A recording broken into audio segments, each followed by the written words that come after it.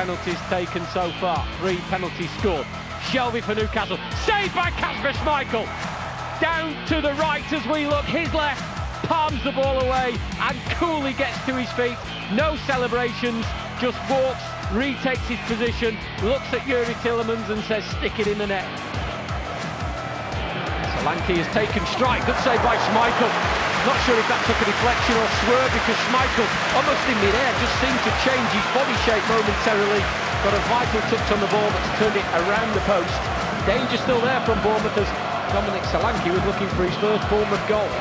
Højbjerg picks it up on halfway and plays the ball down the line. And he is quick, Redmond, and he'll get onto that on the left-hand side of the box. Soyuncu can't stop him, he shoots! Great save, Kasper Schmeichel. Tips that over. Well, all of a sudden, Southampton are showing a bit of fight. Schmeichel tries to put off Baines, the way that Pickford tried to put Chilwell off. It's another left footer. Here it comes from Leighton Baines, saved by Kasper Schmeichel. Again, he gets the right way.